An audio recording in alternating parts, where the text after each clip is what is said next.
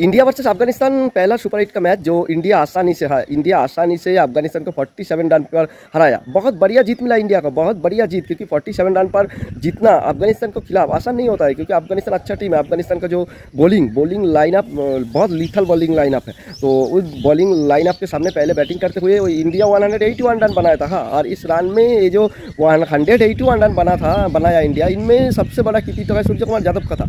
सूर्य कुमार यादव अगर ना चलता तो आज क्या होता? होता इंडिया का पता नहीं है ठीक ही कह रहा हूँ क्योंकि बहुत बढ़िया एक शानदार प्रदर्शन किया है सूर्य कुमार यादव ने। उसके बाद मानो जब गेंदबाजी की बारी आया तो तब अर्षदीप सिंह जसप्रीत बुमराह ने दिखाया हाँ, और अक्षर पटेल तीनों ने दिखाया दमदार जो गेंदबाजी की रफ्तार दिखाया हाँ। बहुत अच्छा गेंदबाजी किया है। इसके अलावा भी मानो जो इंडिया का जो फील्डिंग है, ये फील्डिंग तो एक्स्ट्रा ऑर्डिनरी फील्डिंग है। अफ़गानिस्तान जो इस खेल में बहुत घटिया फील्डिंग किया है। तो अफ़गानिस्तान के लिए मानो क्या कहा जाए? ये जो हार, ये हार उनका, इनमें उनका ही दोष है। तो अफ़गानिस्तान के पास अभी भी दो मौका है। ऑस्ट्रेलिया और बांग्लादेश को साथ अफ़गानिस्तान का खेल है। अगर वहाँ पर अफ़गानिस्तान ऑस्ट्रेलिया बांग्लादेश दोनों टीम को हराएँगे तो सुपर सेमीफाइनल में जाएँगे। जा सकता है मौका है जाने का। तो ये तो समय ही बताएँगे, लेकिन आज जो इंडिया वर्सेस अफ़गानिस्तान का पहला मैच का जो बैटिंग लाइन ऑर्डर। अगर बात करेंगे तो विराट कोहली और रोहित शर्मा। हाँ रोहित शर्मा बराबर की तरह इस बार भी फेल हुआ है और मुझे अब लग रहा है कि ये जो विराट कोहली और रोहित शर्मा, इन दोनों यहाँ इंडिया का जो टी ट्वेंटी वर्ल्ड कप जीतने का जो वर्ल्ड कप उठाने का जो बाधा, वो ये दोनों, खुद दोनों ही है।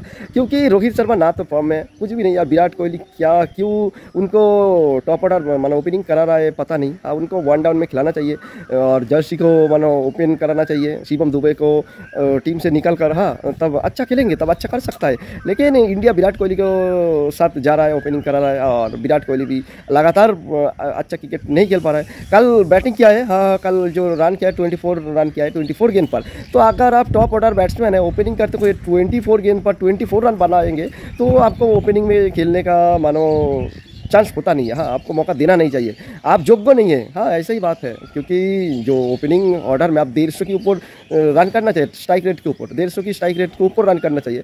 तो ये दोनों जो, दोनों ओपनर ही फॉल हुआ है और उसके बाद ऋषभ पंत ने वो तावर ताबड़तोड़ ऋषभ पंत की तरह ही खेला। बीस रन का एक कैमिया इनिंग्स खेला था, लेकिन अच्छा खासा खेला था। बाद में उसके बाद सूर्य कुमार यादव ने किया शानदार खेला है। ट्वेंटी एट गेंद पर फिफ्टी रन बनाया, तीन छक्का, पाँच चौका कमाल की प्रदर्शन किया है सूर्य कुमार यादव ने। शिवम दुबे भी आया था, लेकिन दस रन बना पाया, उसके बाद चला नहीं। शिवम दुबे और इसके बाद हार्दिक पांड्या हार्दिक पांड्या ने आज अगर ना खेलता, ये जो ऑलराउंडर ऑलराउंडिंग परफॉर्मेंस दिखा दिखा था हमेशा हार्दिक पांड्या आज भी दिखाया। और थर्टी टू रन का एक कैमियो इनिंग्स खेला हार्दिक पांड्या हाँ एक कैमियो इनिंग्स खेला और सूर्य कुमार यादव हार्दिक पांड्या दोनों को वजह से ही इंडिया ये जो 180 के ऊपर रन किया। ये हुआ, ये रन हुआ इंडिया का हाँ। और आज, और अगर देखा जाए तो अफ़गानिस्तान के लिए बॉलिंग करते हैं फारूकी फारूकी ने तीन विकेट चटकाया राशिद खान ने तीन विकेट चटकाया मानो ये दोनों ही तीन तीन छः विकेट चटका दिया, नवीन उल हक ने एक विकेट चटका। और नवीन उल हक जो एक कैच मिस किया, और गेंद पर चार रन भी हुआ। मिस फील्डिंग बहुत किया अफ़गानिस्तान ने तो मतलब वर्ल्ड कप सुपर एट की लेवल में अगर ऐसा मिस करेंगे तो आप तो सुपर एट खेलने का भी योग्य नहीं है। अफ़गानिस्तान का पास अभी भी मौका है वो आगे दो मैच अगर अच्छा खेलेंगे, करेंगे तो जीते, जीतेंगे। नहीं तो घर जाना पड़ेंगे खाली हाथी। हाँ तो सेमीफाइनल तक अगर आपको हाथ मौका है पास मौका है तो आप जा सकता है। तो आके तो देखा जाएँगे। और जब अफ़गानिस्तान बैटिंग करना आया तो गुरबाज भी आज ताबड़तोड़ शुरुआत किया था बट बुमराह ने चालाकी से हाँ स्लो ऑफ़ स्टम्प के ऊपर स्लोअर जो गेंद किया तो मालूम नहीं वो ढूंढ नहीं पाया गुरबाज ने। और खेला बाहर से ही दूर से आउट होकर चला गया। आज सिर्फ़ इलेवन रन बना पाया। इसके अलावा उतना कोई खेल नहीं पाया। एक अजमतुल उमर जाई ने कुछ अच्छा खासा खेलने का प्रयास किया था।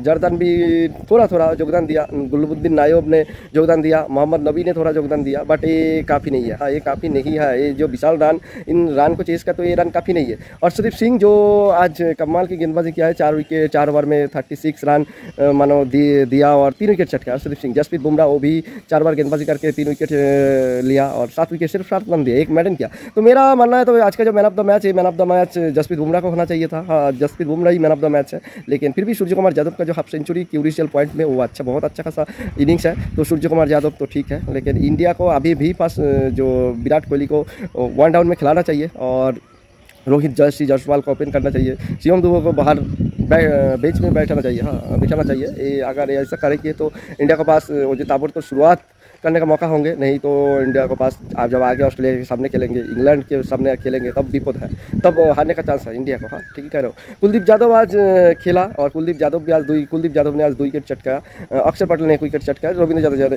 एक विकेट चटकाया तो काफ़ी अच्छा बॉलिंग किया है इंडियन जो गेंदबाज अच्छा खासा बॉलिंग किया है तो आप लोगों को क्या लगता है? ये जो मैच इंडिया के लिए कैसा गया? आप कमेंट करके बताओ। और इंडिया को क्या इंडिया का बैटिंग ऑर्डर अभी भी चेंज करना चाहिए? आप कमेंट करके बताओ। हाँ आप कमेंट करके बताओ। और मेरा वीडियो अच्छा लगता है तो प्लीज़ एक लाइक शेयर कमेंट ज़रूर करो।